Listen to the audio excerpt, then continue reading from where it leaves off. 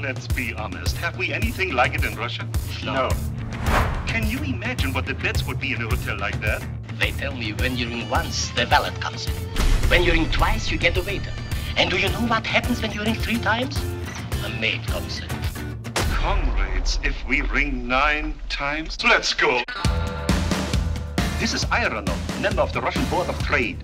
The core jewels of the Grand Duchess Swana consisted of 14 pieces. The most incredible thing has happened. My jewels are here in Paris. There must be some way of getting them back. I filed a petition for an injunction to prohibit you from either selling or removing the jewels. Here's a telegram from Moscow. Envoy Extraordinary arrived Thursday, 5.20 p.m. with full power. That must be the one. He looks like a comrade. I am Hitler. No, that's not him. I'm Nina Ivanovna Yakushova, envoy extraordinary. What a charming idea for Moscow to surprise us with a lady comrade. What's that? A woman's hat. How can such a civilization survive which permits their women to put things like that on their heads? Won't be long now, comrades. Your telegram was received with great disfavor in Moscow. We did our best, comrade. I will not repeat your mistake. I want to use my spare time to inspect public utilities. Pardon me, are you an explorer? No, I'm looking for the Eiffel Tower. A Russian. I love Russians.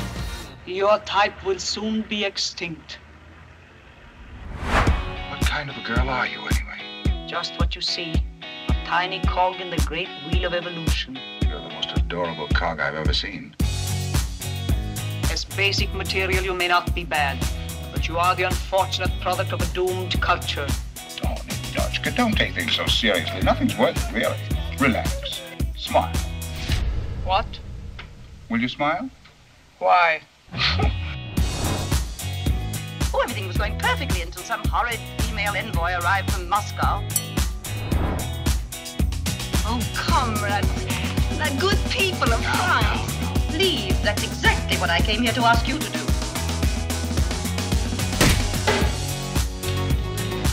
You're the most incredible creature I've ever met. Ninotchka.